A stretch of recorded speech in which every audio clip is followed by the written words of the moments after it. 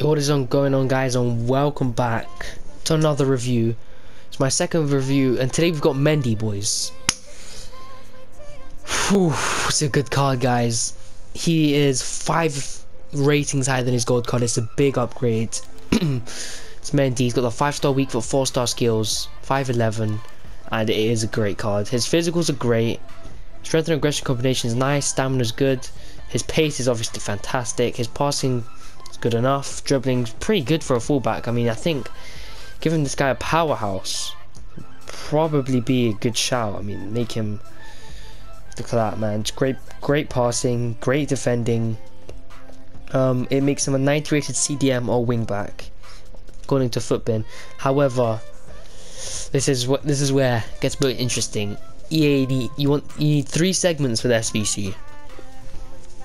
84 the informer wants to watch an 85 with the team of the week or champs player, and an 85 with an inform.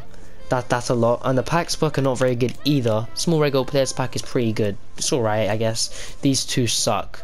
The league and 85 reach squad pack suck.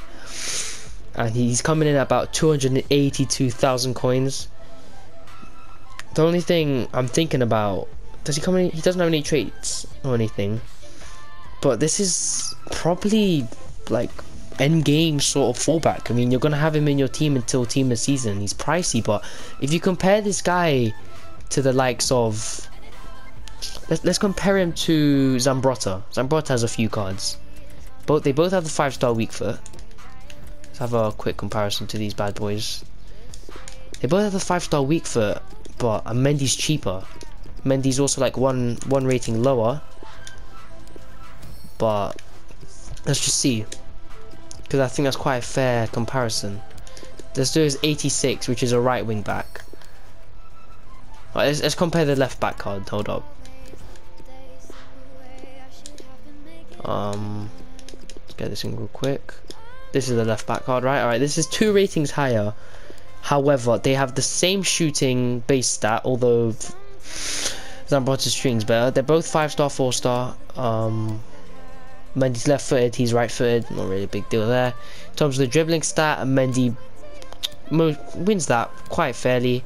Defending, it is all on Zambrotta's side. However, when it comes to the physicals, it's quite similar. The stamina is much, much better on Mendy. And when you're spending, how much is, let me just check Zambrotta's price. When you're spending like, surely like 500k or something on this Zambrotta Zambrotta's 468k and he only has 86 stamina. When you can spend less than that get also has the 5 star weak foot much much faster.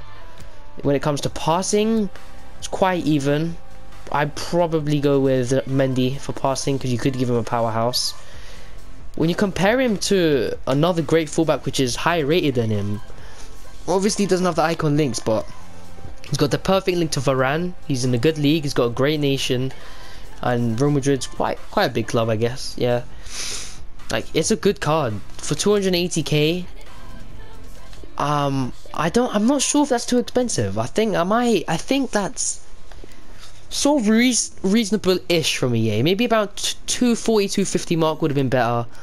But the pack, if they just made the packs a bit better, then I think this would be a hundred, like probably be worth it. But five ratings higher. If you have Goldman in your team, you need an upgrade and you're gonna have him on your team for a couple months. Like this is long. This is team of the season.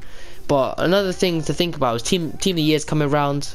Marcelo's usually about 900k if he wins it. I think this year will be about Robbo and Trent.